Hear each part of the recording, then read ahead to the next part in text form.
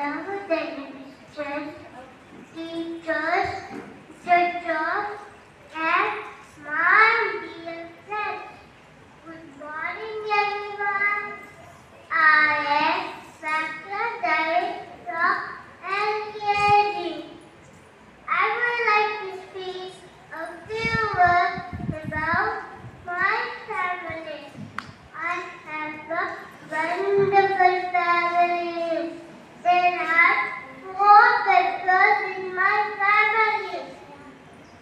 My mom, dad, grandmother, and myself.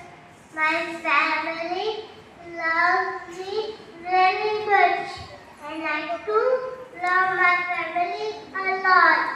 My dad is a lecturer, and my mom works in office,